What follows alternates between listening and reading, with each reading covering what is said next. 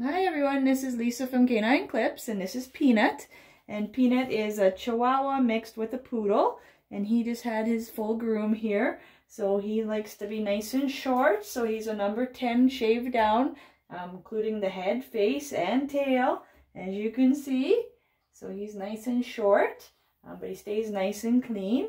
And he is one of my senior dogs as well, as he is going to be 16 in two weeks. So um, he's quite uh, a senior dog, but still does very well with the grooming and um, just everything. He, he likes to move around a little bit, but otherwise he does very good um, and very good temperament still. So um, good to see a nice old senior with us here. And uh, like I said, he does really good. So um, thanks for taking the time to watch. I hope you enjoyed the video. Um, if you did enjoy it and would like to see more, please subscribe to my channel and um, keep on watching videos. So thanks for taking the time, and I hope you have a great day. Bye-bye.